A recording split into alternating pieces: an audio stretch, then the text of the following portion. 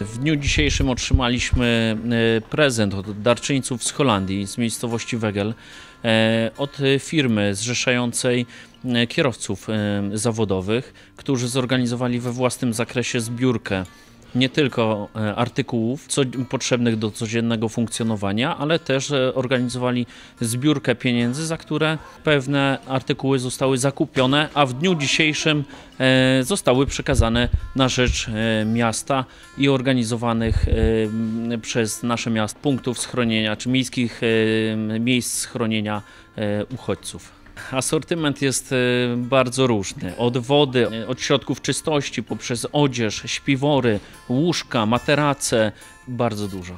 Jest tego wszystkiego, ale wszystko jest nam potrzebne. Jesteśmy bardzo wdzięczni dla wszystkich darczyńców. E, Nie spodziewaliśmy się tego. Zostaliśmy, można powiedzieć, e, w ostatniej chwili poinformowani, że takowy transport do nas dociera, ale bardzo serdecznie dziękujemy dla wszystkich, którzy się zaangażowali w tą zbiórkę e, i dla całej firmy e, Filflex z Holandii, która zorganizowała nie tylko tą zbiórkę, ale też i transport do nas do Polski, do nas do Białej Podlaskiej.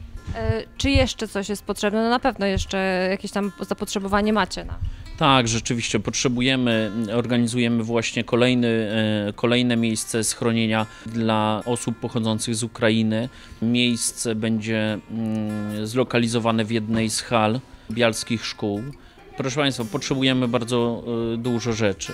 Od żywności, od środków czystości, poprzez śpiwory, materace, bieliznę, szczególnie zależy nam na nowej bieliźnie. Póki co nie potrzebujemy odzieży.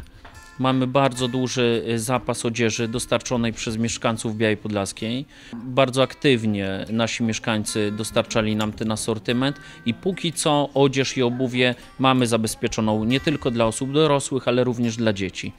Więc na tą chwilę e, tego asortymentu nie potrzebujemy. Wydajemy odzież dla e, obywateli Ukrainy w, w punkcie, który miasto zorganizowało w bursie szkolnej.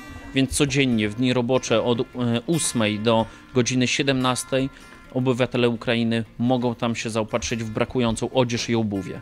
Działamy i jeszcze raz dziękujemy za bardzo aktywne zaangażowanie naszych mieszkańców Białej Podlaskiej. No i cóż, i duże ukłony dla pana prezydenta, który zainicjował tego typu działania i pod jego patronatem y, zbieramy to wszystko i organizujemy wsparcie dla mieszkańców czy dla uchodźców z Ukrainy. A jeszcze jakby ktoś chciał coś przekazać, to do MOPS-u ma się zgłaszać, tak? Z tymi darami. W Białej Podlaskiej mamy trzy miejsca, w których można pozostawiać rzeczy. Całodobowo, przez 7 dni w tygodniu, y, można to pozostawiać w Straży Miejskiej przy Alejach Tysiąclecia 22. Oczywiście Miejski Ośrodek Pomocy Społecznej również, mieszczący się przy ulicy Piłsudskiego 24, przyjmuje codziennie, ale w dni robocze od godziny 7.30 do 18.00 i ewentualnie można pozostawić też rzeczy w Urzędzie Miasta, ale zachęcamy do korzystania z tych dwóch poprzednich, które wymieniłem miejsc. E, Tam zbieramy pełen asortyment, który tylko e, Państwo, nasi darczyńcy bialscy i nie tylko, jak widzimy, zechcą dostarczyć. Zapraszamy do tych obiektów.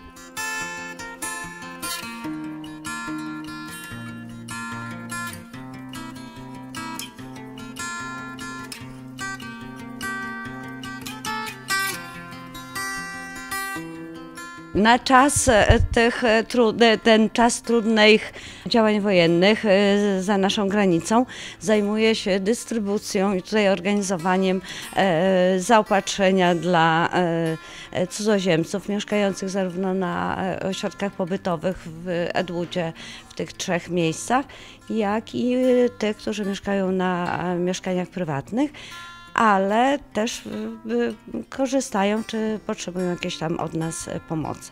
Wygląda to w ten sposób, że jak pani widzi, tutaj mamy mm, magazyn zbiorczy.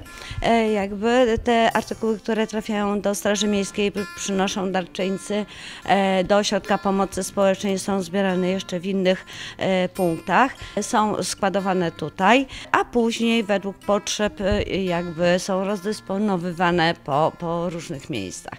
Mamy tu wszystko. Mamy koce, mamy pościel, która jest e, sukcesywnie prana, e, bo to jest e, pościel i koce jakby używane, więc one są prane przez zakład, pra, zakład karny w Białej Podlaskiej i czyste ręczniki też, czyste trafiają tutaj i one są dopiero wtedy wydawane jakby i wykorzystywane.